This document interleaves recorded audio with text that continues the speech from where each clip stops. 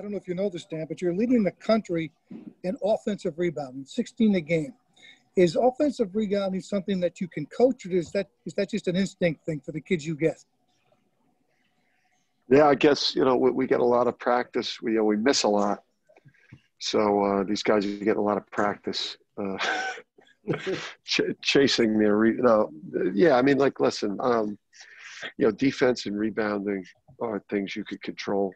Um, you know, I think they're they're uh, they're things that if you uh, if you're consistent with those things night in and night out, then uh, you know you'll uh, you'll be in every game. So uh, we've got, I think, uh, you know, anytime that you have a guy you know rebounds a ball like Isaiah, um, you know, and then you have a perimeter rebounder like Tyrese. Uh, you know, and, and James is a really good offensive rebounder too. So, uh, you know, defensive rebounding wins, especially on the road. Gavin? Dan, it's been a while, obviously, since you guys have gone on the road. What's it kind of like leaving the Soares bubble and kind of getting on the road again? Yeah, it, it, it was. Uh, it's been a while. It's been a while. It was. Uh, it, it was just nice to to uh, you know pull into a pull into a city and and uh, you know get out on the road together as a group. You know, get on a plane and and uh, you know, I think it's gonna be really good for uh, you know for just the chemistry and uh, and I think the mental you know the mental state of the group too. It's like uh, you know, we played a game the other day. We're, you know, we're we're getting another game today. We look like we've got a you know a series of games coming up, and hopefully practices, and we just get some consistency in the season. Dave? Thanks. Dan, is, is there anything um, you guys will do differently on this road trip as in terms of from what you've done in the past? Just, I know you don't, the guys aren't like going out to dinner and stuff like that very often anyway. I mean, is it just a matter of kind of hotel, shoot around tomorrow, game? Is that is that pretty much it? Yeah, I mean, we, we like to get in. Um, I think I think a lot of it is the same. Just the the you know the distance. Uh, just trying to stay you know distance during meals and during different uh, you know during different parts of the actual uh, transportation part here. Um, you know, taking the precaution of having you know two buses uh, you know just in case. And and uh, you know we we uh, we traditionally like to get into town a little bit earlier and get shots up in the arena the night before the game and then get the shoot around. So give our guys two chances to get comfortable in the space. So just to um, you know to eliminate some risk we uh, we've eliminated the shooting the night before. Mike Mavrodakis? Hey, Coach. Uh, do you have a, a status update on Akok Cook at all? Yeah, he, uh, you know, he's getting. I think he's, you know, he's just he's getting closer. Um, you know, he's he's looking good. Um, it's hard to give a timeline, but you know, he's, uh, you know, just because I don't want to put myself out there, but he, you know, he's he's getting. You know, he's definitely getting closer. He looks good. Neill Ostrout? Yeah, to kind of follow up, I mean, it's a good problem to have, but how how and kind of where does Akok kind of fit in? Obviously, I mean, such a force defensively, and you know, I'm sure you know improved offense uh, in the offseason. Where have you given a lot of thought to kind of where he fits in, and you know, uh, the the rotation problems, I guess, good problems that it's going to cause?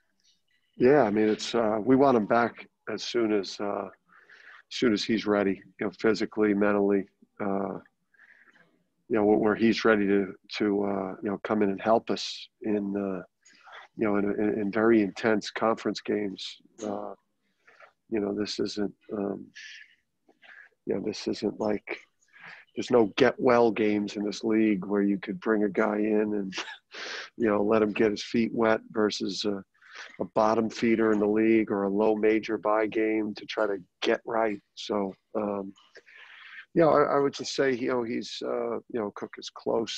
Um, you know, he's looking good in practice, and, and when when you know when when uh, when he's at the point where um, where he looks game ready, like Big East game ready, he'll uh, he'll be in.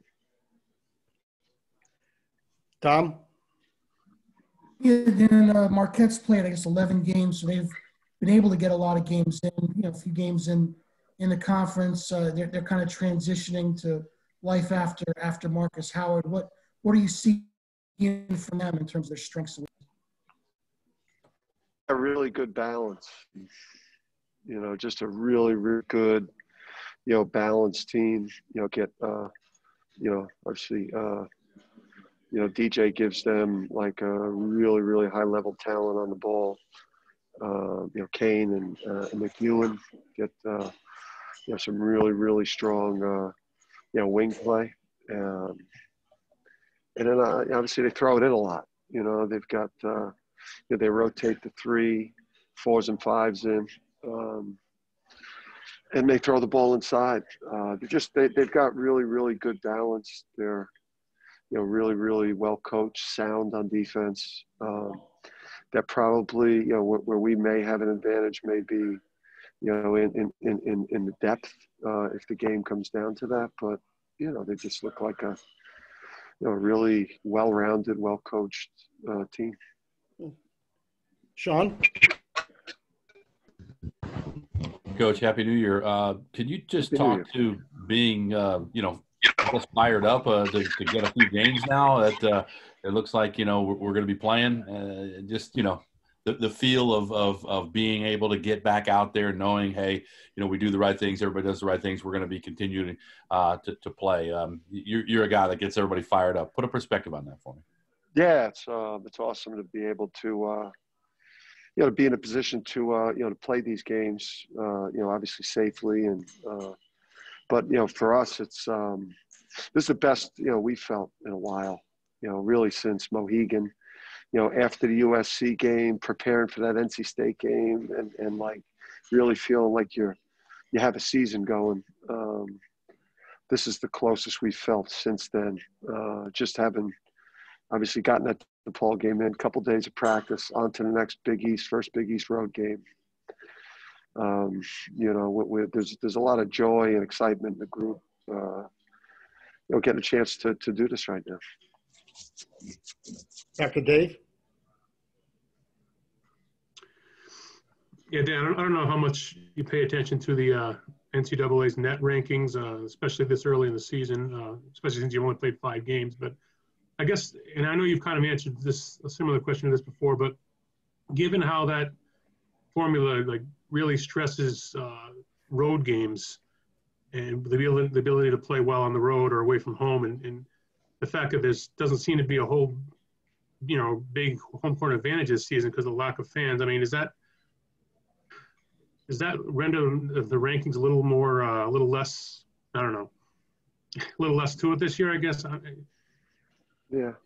Yeah i, I i'd say you know I, I, think coaches you know this time of year we're so uh, we're just trying to you know um, make sure that we're on the right path with our team, establishing roles, uh, the way that we want to play it, um, the best course of action moving forward as a team in terms of giving ourselves the best chance to have a really good season. So I think like we probably, you know, when, we're deeper in the season, like we do have some of those discussions about some of the metrics and KenPom and nets and all this stuff.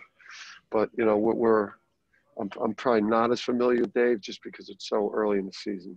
Um, and, and, for us, it's just, you know, obviously our mission is to play in March. Uh, and, the way that we look at, you know, game for us like tomorrow is, you know, I think, uh, you know, what I've told the team is uh, if you want to play at the, at the top of the league, if you want to play at the tippy top of this league, and, um, you know, then, then obviously you, you've got to, um, you know you, you've got to win games like tomorrow.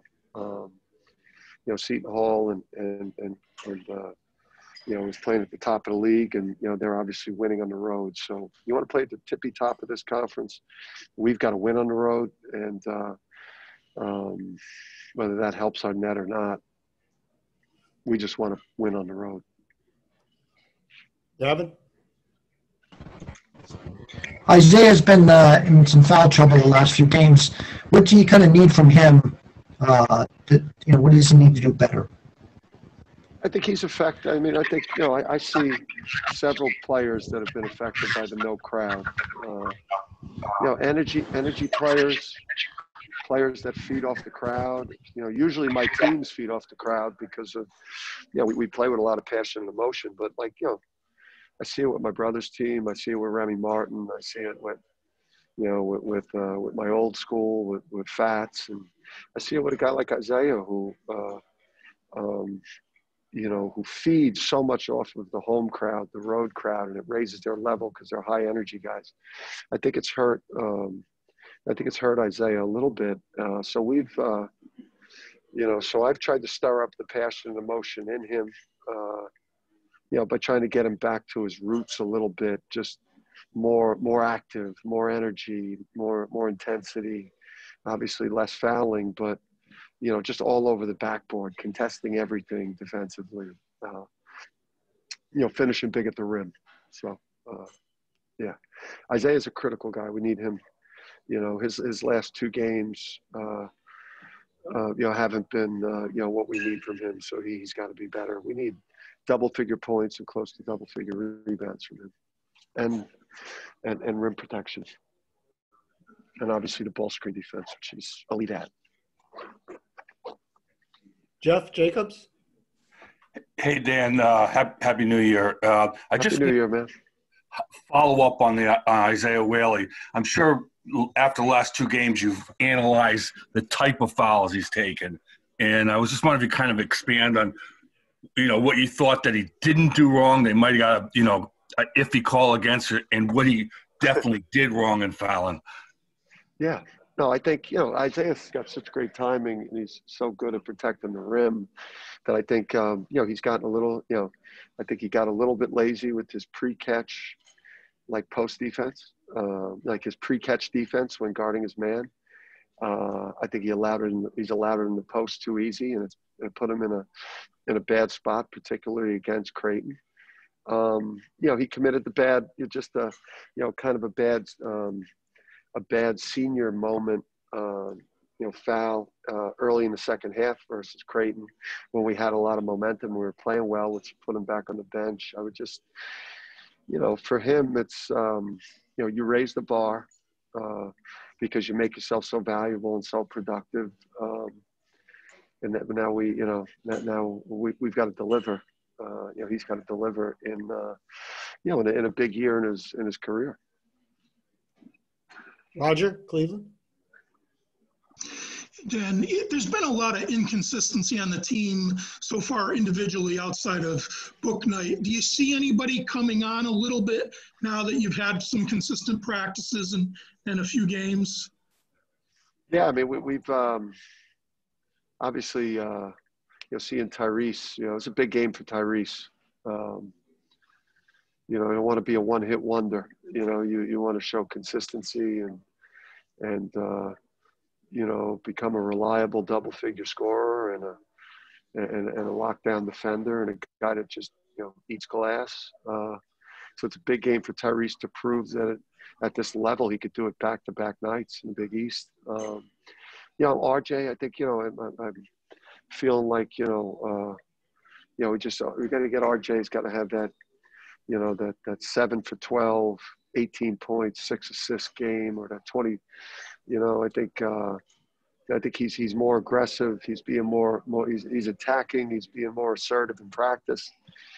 Um, you know, he's trying more. He's just, you know, we need him to, uh, you know, to, uh, to, to, to, to catch a, catch a game offensively where he's, where he's really, really good at that end. As a leader and defensively with his toughness, he's been tremendous that way. But you know, we, you know, we we we need uh, we need those guys next to James on the perimeter. And I like the way Tyler's shooting the ball coming in. He's had his best couple of days of practice. Um, you know, and, and we're desperate to get Adama going.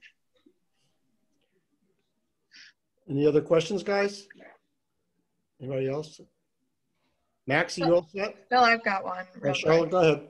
Just uh, hi Dan, happy New Year. Sorry about Happy that. Happy New Year, Charlotte. Get the. Um, to follow up on Adama, what have you done, I guess maybe over the last couple practices, just to try and get him a little bit more comfortable or help him? Is he starting to kind of realize? I know you said he struggled a little bit with that adjustment to Big East play, um, Yeah. but just get him a little bit more comfortable.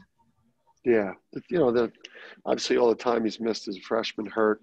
Plus, he's a kid that reclassified up too. So, um, you know, he had another year of high school, which he so he classed up and then uh, was given not a lot of uh, opportunity to prepare for the season. So, um, you know, it, more conversations with him about, you know, just um, he's a perfectionist in everything he does uh, as a student, as an athlete. Um, you know, he's just the ultimate perfectionist. So, you know, just try to be easier on yourself.